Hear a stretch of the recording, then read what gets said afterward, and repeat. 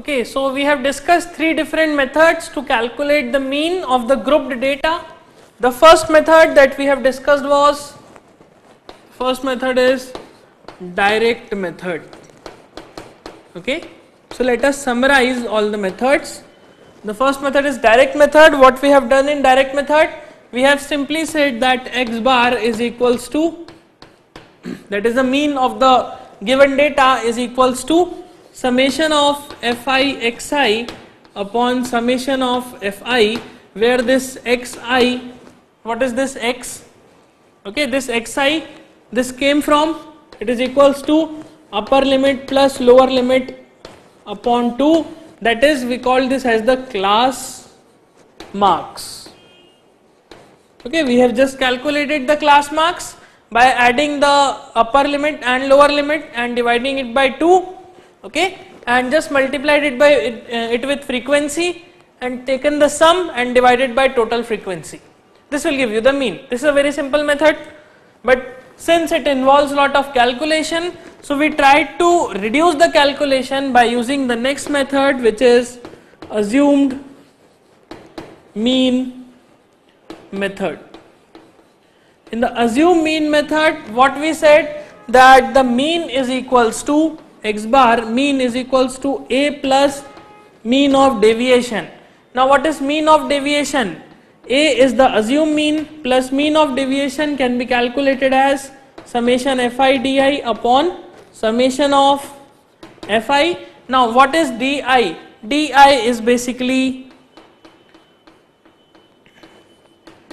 the class marks of any class minus assumed mean. That is the deviation of the particular class marks from the assumed mean. This is what the deviation stands for okay? This is the second method. It reduced our calculation. But if we still feel that the calculation is very much it's very long calculation or complex calculation we went for a third method which is the step deviation method. In the step deviation method, we saw that the assumed mean, uh, sorry, the mean is equals to assumed mean plus h times summation fi ui upon summation of fi, where u is what? u is basically the step deviation, here d is the deviation and if we divide the deviation by class uh, interval, we will get the step deviation. Okay, so I will say here u is what? ui is basically di upon h. h is the class interval or it is xi minus a upon h. So we have used these three methods, we have understood these three methods. Now try to understand the pros and cons also of these methods. The most important thing is that this involve huge calculation यहाँ पर calculation कम होगा और यहाँ पर बहुत ज़्यादा कम हो जाएगा। This is the advantage of this method second thing ये मेथड हमेशा एप्लीकेबल है। कहीं पर भी आप अप्लाई कर सकते हैं। अगेन ये वाला मेथड ये भी कहीं पर भी एप्लीकेबल है। जहाँ आप चाहे, वहाँ इसे अप्लाई कर सकते हैं। बट इस मेथड के साथ एक कंस्ट्रेन है। क्या कंस्ट्रेन है? For this method the class interval H the class interval h should be a constant value okay the very much important thing for this method is that h has to be constant okay अगर किसी given data में class interval constant नहीं है तब आप step deviation method नहीं लगा पाएँगे ओके okay? आप स्टेप डिविएशन मेथड सिर्फ़ उस डेटा पर लगा सकते हैं जहाँ पर क्लास इंटरवल कांस्टेंट हो। अगर क्लास इंटरवल में चेंज हुआ तो ये मेथड आपके लिए एप्लीकेबल नहीं हो पाएगी। देन आप इन दोनों में से ही कोई मेथड को यूज़ करके मीन कैलकुलेट कर सकते हैं। So based on this kind of concept क्या ऐसा भी क्वेश्चन होता है? क्या इस तरह का भी डेटा होता है जहाँ पर क्लास इंटरवल कांस्टेंट ना हो? हमने तो अभी जो क्वेश्चन देखा, उसमें क्लास इंटरवल कांस्टेंट था। तो हाँ ऐसा भी क्वेश्चन आ सकता है, ऐसा भी डेटा होता है जहाँ पर एच कॉन्स्टेंट नहीं हो। Okay this is the H the class interval so हम इसी तरह का एक क्वेश्चन समझते हैं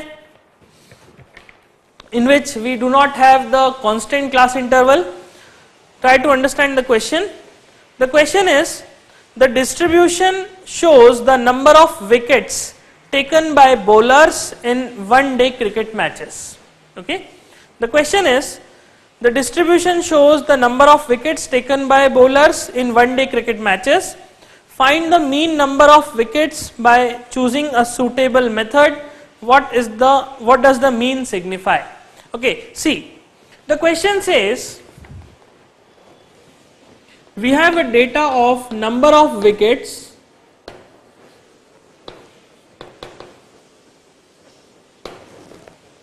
taken by different bowlers taken by number of bowlers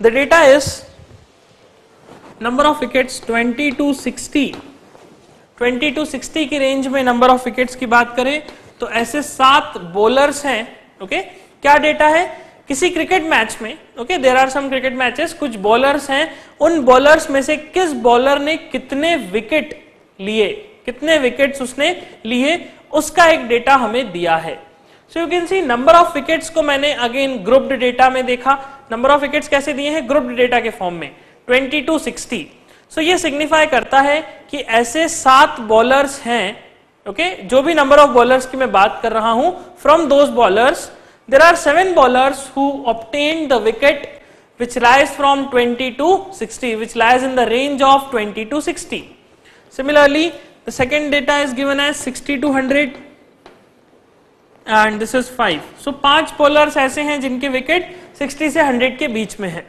then the third thing is 100 to 150 and 16 bowlers ऐसे हैं जिनके विकेट्स 100 टू 150 की रेंज में आते हैं then 150 to 250 we have 12 bowlers then 250 to 350 we have two bowlers and 350 to 450 we have again three bowlers. Okay?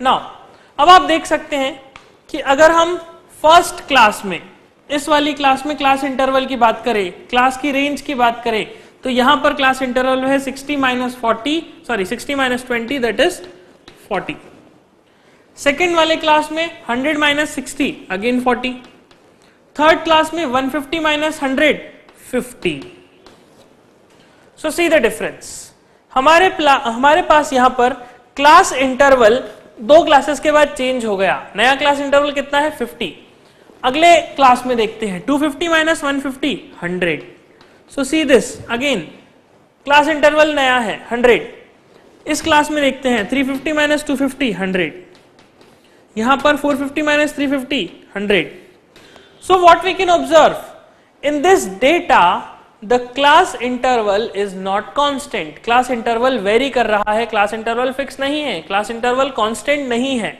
So so, फिर हम क्या करें? तो हम कहेंगे कि हाँ अगर क्लास इंटरवल कांस्टेंट नहीं है तब भी कोई प्रॉब्लम नहीं. इसमें घबराने की या डरने की कोई बात नहीं। आपके पास डायरेक्ट मेथड और अज्यूम मीन मेथड है। आप इन दोनों मेथड की मदद से ही इस गिवन डेटा का मीन कैलकुलेट कर सकते हैं। आपको ज़रूरी नहीं कि स्टेप डेविएशन मेथड ही हर समय अप्लाई करना है। सो so, सी ये डेटा है। इस डेटा में किस बॉलर ने कितने विकेट किसी क्रिकेट मैच में लिए उसका एक डेटा हमें गिवन है। हमारा टास्क है to calculate the mean number of wickets taken by bowler और taken by a bowler okay मतलब हम ये जानना चाहते हैं कि ऑन एन एवरेज किस बॉलर ने कितने विकेट लिए ओके ऑन एन एवरेज सभी बॉलर्स ने कितने विकेट लिए? हर एक बॉलर के पास कितने विकेट आए? That we need to know okay we need to know the average value of the wickets mean value of the wickets now कैसे मीन कैलकुलेट करेंगे? सी नंबर ऑफ़ बॉलर्स को हम देखते हैं नंबर ऑफ़ विकेट्स को हम देखते हैं तो ये ग्रुप्ड डेटा है। तो ग्रुप डेटा से हम क्या करेंगे? सबसे पहले हम कैलकुलेट करेंगे क्लास मार्क्स हम कहेंगे, जो नंबर ऑफ़ बॉलर्स है this is our frequency F I and I will calculate the class marks using this number of wickets that is the range of number of wickets So, the class marks will be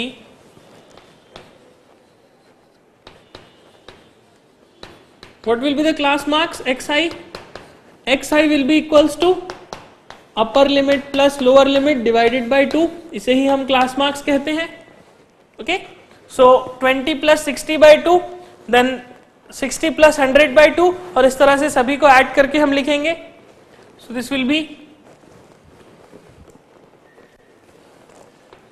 20 plus 60 by 2 then this is 60 plus 100 by 2 then this is 100 plus 150 by 2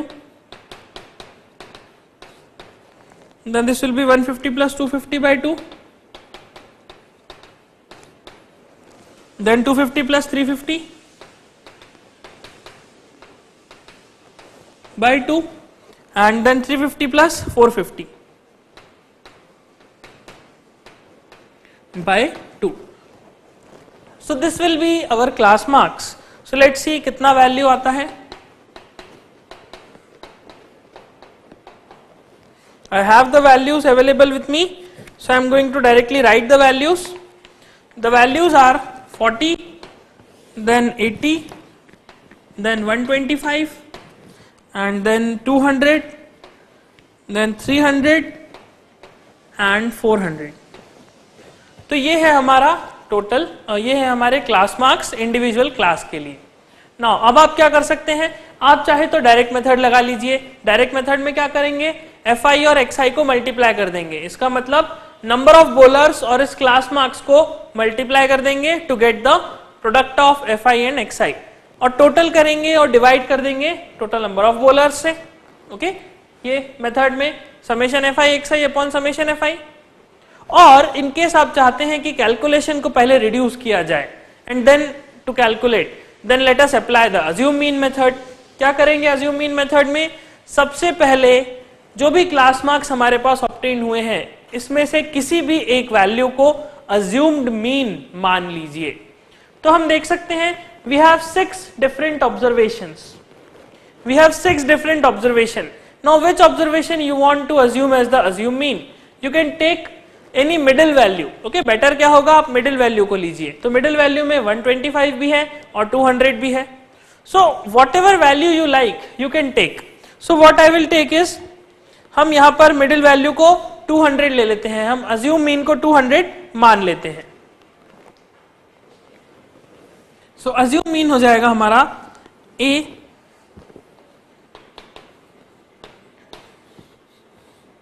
okay A is 200 now A अगर 200 आ गया तो I can say D I which is X I minus A D I मतलब X I minus A हम X I minus A calculate करते हैं। This will be 160 minus one sixty then minus one twenty then minus seventy five then zero then hundred then two hundred okay this is D I now what you can see यहाँ पर जो D I हमारे पास obtain हुआ है, इन सभी में कॉमन फैक्टर सिर्फ़ फाइव है। अगर आप ध्यान से देखेंगे तो कॉमन फैक्टर सिर्फ़ फाइव है। ओके आप चाहें तो यहाँ पर स्टेप डेविएशन लगा सकते हैं, कोई भी रैंडम वैल्यू से डिवाइड करके। ओके ज़रूरी नहीं कि एच से ही करें। जैसे हम देख सकते हैं क्लास इंटरवल तो हर जगह वेरिएबल है। लेकिन, अगर आपने किसी भी वैल्यू से डिवाइड किया लेटस से आपने 10 से डिवाइड करा या लेटस से 20 से डिवाइड करा to calculate the step deviation you will find some values will come out to be in decimal कुछ वैल्यूज़ डेसिमल में दिखाई देंगी। तो क्या ये अप्रोप्रिएट मेथड होगा कि मैं इसे डेसिमल में कन्वर्ट करूँ? If you feel then you can use otherwise what you can do is we have D I we have F I just multiply these two values so I will multiply F I into D I F I is seven and this is one sixty so minus one sixty into seven then this will be 5 into 12 so let us multiply this. Let me multiply this value. So this is 70 and 42 it will be 112 1120 with a negative sign. 5 into 12 is 60 so minus 600 then 16 into 75 now what is 75 into 4 it is 300 then again 4 it will be 1200 so this will be minus 1200 okay? 75 into 16 will give you minus 1200. Then 12 into 0 will give you 0. Then 2 into 100 will give you 200. And then this is 3 into 200 will give you 600. So just calculate the summation fi di. Add all these values and to calculate and calculate this value. What you will get? You can see this 600 and 600 will get cancelled. यहाँ पर 1000 this will be minus 1000 and minus 1000 and minus 1120 so it will be minus 2120 this will be your fi sorry this will be summation fi di now calculate the summation of fi summation of fi will give you just add these values. How much it will be? This is 12 12 12s are 20 this 12 2s are 24 24 and 6 30 then 40 40 and 45 so you have the total number of bowlers as 45 so the mean x bar will be equals to a plus summation fi di upon summation fi so A is what? We have 200. Then this will be minus 2120 upon 45. So finally the mean will come out to be, here I can write it as 200 minus 2120 upon 45. Just solve this value, solve this uh, particular uh, expression and finally you will get the mean as x bar as 152.89 you will get 152.89 so this is the mean. Now what does this mean signify? I will say this is the average number of wickets taken by each bowler. Okay? What i have done here? We have the grouped data. हमारे पास individual bowlers का एक data बना हुआ है। लेकिन अगर सभी बॉलर्स को मिक्स कर दिया जाए, एक साथ जोड़ लिया जाए तो ऑन एन एवरेज हर बॉलर ने कितने विकेट लिए? That is 152.89 okay now number of wickets can not be in negative sorry in decimal form so you can take it as 152 only okay मतलब ऑन एन एवरेज हर एक bowler ने 152.89 या फिर 152 विकेट्स लिए। किसी ने ज़्यादा भी लिए, किसी ने कम भी लिए। किसी ने बहुत ज़्यादा लिए, किसी ने बहुत कम लिए।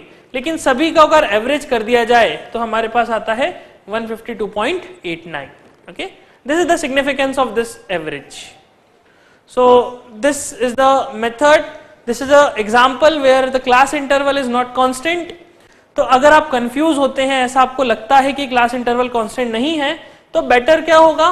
बेटर आप सिंपल मेथड से जाइए अज्यूम मीन मेथड लगाइए सॉल्व कीजिए। अल्टीमेटली आपको टाइम उतना ही लगेगा। बिकॉज़ अगर आप सोचेंगे कि यहाँ पर मेरे पास डेविएशन अवेलेबल है तो स्टेप डेविएशन कैलकुलेट करने के लिए इसे डिवाइड किया जाए। So you will think about what should be the value by which I can divide these value okay so this will be a particular important task आपको यहाँ पर सोचना पड़ेगा। तो बेटर होगा कि उसमें टाइम वेस्ट करने से अच्छा हम डायरेक्टली मल्टीप्लाई करें और कैलकुलेशन कर लें। बहुत इजी कैलकुलेशन है okay so this complete this example इसे नोट करिए, फिर हम प्रैक्टिस शीट से कुछ क्वेश्चंस को सॉल्व करते हैं। Okay let's solve the practice sheet I am going to solve these three questions on board other question are easy आप उसे सॉल्व कर सकते हैं। बहुत सिंपल क्वेश्चन हैं। जस्ट कैलकुलेशन है। आपने देखा स्टैटिस्टिक्स में कुछ बेसिक मेथड्स हैं बस। उन्हीं के ऊपर क्वेश्चंस घूमते फिरते रहेंगे। और एक ना एक क्वेश्चन एग्ज़ाम में ज़रूर आएगा। And it's a very easy chapter you can see so let me solve question number three जिसमें थोड़ा सा ट्रिकी uh, है थोड़ा सा टिपिकल है question let see the question the following distribution shows the daily pocket allowance of children of a locality the mean pocket allowance is rupees eighteen find the missing frequency F so what the question says is the daily pocket allowance in a locality okay कुछ बच्चे हैं किसी locality में उन बच्चों को जो daily pocket के लिए पॉकेट मनी मिलता है ओके पॉकेट अलाउंस है वह हमें टेबल के फॉर्म में गिवन है जैसे कि डेली पॉकेट अलाउंस अगर हम देखें तो 11 टू 13 सो मतलब ऐसे सेवन चिल्ड्रन हैं जिनको daily pocket allowance seven eleven से लेके थर्टीन के बीच में मिलता है ओके okay? ऐसे सेवन चिल्ड्रन हैं जिनकी पेरेंट्स उन्हें इलेवन रुपीज़ से लेके थर्टीन रुपीज़ के बीच में डेली पॉकेट अलाउंस देते हैं मतलब ग्यारह रुपए से थर्टीन तेरह रुपए के बीच में कोई रुपए वह डेली लेते हैं। देन सेकेंड हम देख सकते हैं थर्टीन टू फिफ्टीन ऐसे सिक्स चिल्ड्रेन हैं जिनको घर से डेली पॉकेट अलावेंस रोज के लिए जो पॉकेट अलावेंस है, वो तेरह रुपए से पंद्रह रुपए के बीच में मिलता है ओके तेरह रुपए मिल सकता है या तेरह रुपए से ज़्यादा होगा, लेकिन पंद्रह रुपए नहीं हो सकता। Because if it is fifteen it will go to the next class वह अगली क्लास में शिफ्ट हो जाएगा। तो हमारे पास कुछ डेटा गिवन है। देखते हैं कैसा है data question number three daily pocket allowance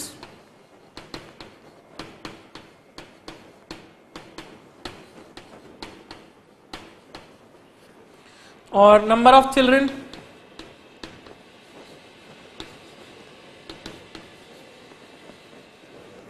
daily pocket allowance कितना है? ग्यारह रुपए से तेरह रुपए।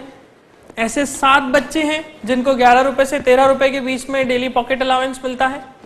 Then thirteen to fifteen there are six children who got pocket money from thirteen to fifteen then fifteen to seventeen there are 9 children, then 17 to 19 there are 13 children, and from 19 to 21 there are F number of children so यहाँ पर F number of children को 19 से 21 के range में pocket money मिलता है।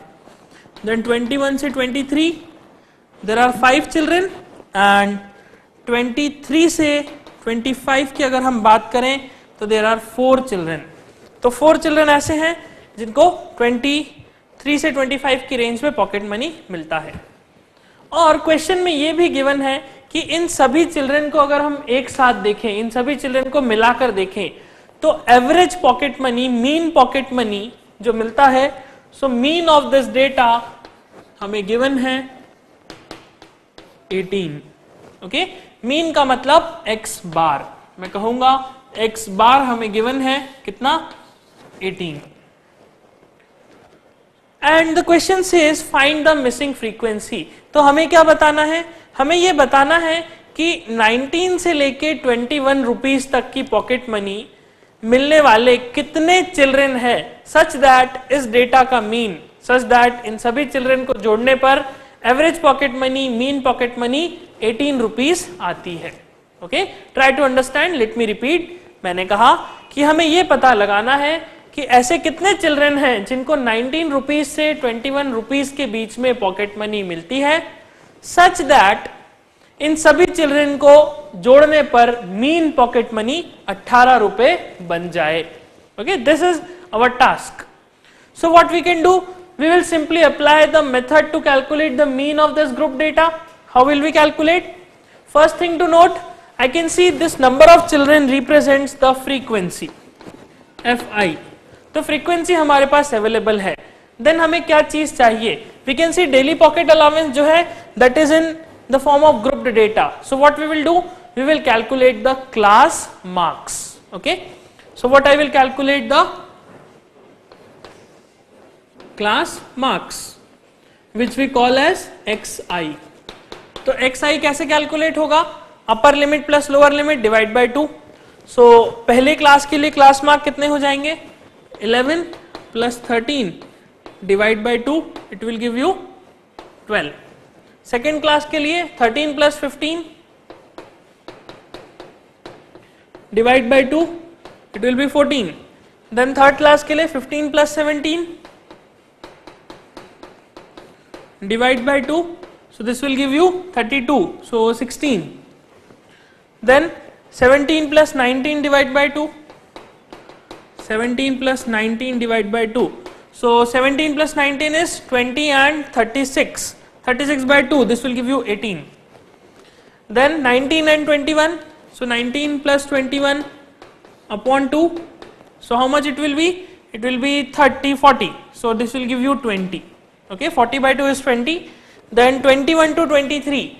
21 plus 23 upon 2. So this is 44 this will give you 22 okay 44 by 2 and the last one 25 to 20, uh, 23 to 25 upon 2 this will be 48 48 by 2 is 24 so this is the class marks 12 14 16 18 20 22 and 24 ये सभी class marks आ गए अब आप क्या कर सकते हैं मीन निकालने के लिए या तो डायरेक्टली सॉल्व कर लीजिए डायरेक्टली इन द सेंस आप यहाँ पर एक्स आई आपके पास अवेलेबल है एफ़ आई आपके पास अवेलेबल है। Just multiply these two values and get the data but exam में कैलकुलेटर अलाउड नहीं होता। तो लेटस रिड्यूस द कैलकुलेशन हम कैलकुलेशन को कम करते हैं। हम अप्लाई करते हैं let's say assume mean method assume mean method में हम क्या करेंगे? हम देख सकते हैं, हम एक अज्यूम मीन एक मीन अज्यूम करेंगे। इन सभी वैल्यूज़ में से किसी भी एक वैल्यू को हम मीन अज्यूम करेंगे। लेकिन अगर आप बड़े ध्यान से ऑब्ज़र्व करें so in the question itself the mean of this data is given so let's say मैं ऐसा मान लेता हूँ कि मेरा अज्यूम्ड मीन ए इज़ 18. मैं इस मीन को ही मेरा अज्यूम्ड मीन मान लेता हूँ okay so what I will calculate now I will calculate the deviation D I which is X I minus assumed mean so here I will get D I is X I minus assume mean so twelve minus eighteen it will be minus six then 14 minus 18 it will be minus 4 then 16 minus 18 it will be minus 2 then 18 minus 18 it will give you 2 sorry 0 then 20 minus 18 it will be 2 then 22 minus 18 it will be 4 and then 24 minus 18 it will be this is 4 and this is 6 so you have di as minus 6 minus 4 0 uh, minus 6 minus 4 minus 2 0 2 4 and 6 this is the di now क्या हम यहाँ पर step deviation method apply करें? Step division method के लिए क्या कहा था? कि एटलीस्ट क्लास इंटरवल आप देखें अगर कांस्टेंट है तो बड़ी आसानी से आप अप्लाई कर सकते हैं। आई कैन सी सभी क्लासेस में सभी ग्रुप्स में क्लास इंटरवल या क्लास वेट ग्रुप का वेट या ग्रुप का रेंज टू दिखाई देता है। 13 minus eleven is two 15 minus thirteen is two 17 minus fifteen is two and so on हम कहेंगे, इस क्लास के लिए h, या कहें class interval h is equals to two so let us now calculate the step deviation as well कैसे? U I will be equals to D I upon H so D I is minus six minus six upon two will give you minus three minus four upon two will be minus two this will be minus 1, 0, 1, 2 and 3. So this is what you have ui. ui का value हमारे पास आ गया. So I will apply the step deviation method. So for that I have to calculate fi ui. I will multiply fi and ui. fi is what? fi is 7. So 7 into ui is minus 3. This will give you minus 21. Then I have 6 and this is minus 2. So this will give you minus 12. Then I have 9 and this is minus 1. So this will give you minus 9. Then I have 13 into 0 will give you 0. Then I have f into 1. So this will give you f only and then I have 5 into 2 that is 10 and I have 4 into 3 4 into 3 is 12 so मेरे पास यहाँ पर आ गया 12 so what will be the value of summation fi ui Summation F I U I का value कितना हो जाएगा? You can see 12 and 12 will get cancel this will give you one and minus twenty plus one will give you sorry minus twenty one plus one will give you minus twenty and F so you will get F minus twenty so F minus twenty is my summation F I U I and what is summation F I number of children summation F I क्या ये चीज़ question में given है? नहीं. so I will add the children see this is 20 and this will be 15 so 35 35 and 40 and 44 so हमारे पास कुछ 44 children sorry 44 plus F children available हैं okay 44 plus F children are available children are available now I will calculate the mean what is the formula for mean in case of step deviation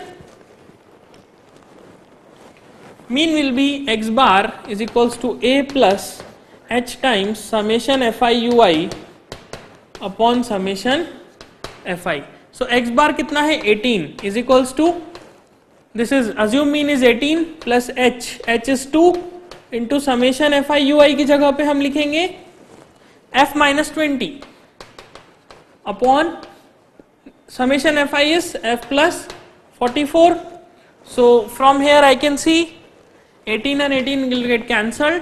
You will get f minus 20 upon f plus 44 is equals to 0 so this will give you f minus 20 is equals to 0 which implies f is equals to 20 so the value of f such that the average amount of pocket money that each children will get is equals to rupees 18 is f is equals to 20. So 20 children are getting pocket money ranging from 19 to 21. Okay. So in this way you have to solve this question, very interesting question. This completes third question. Please note this then we will continue.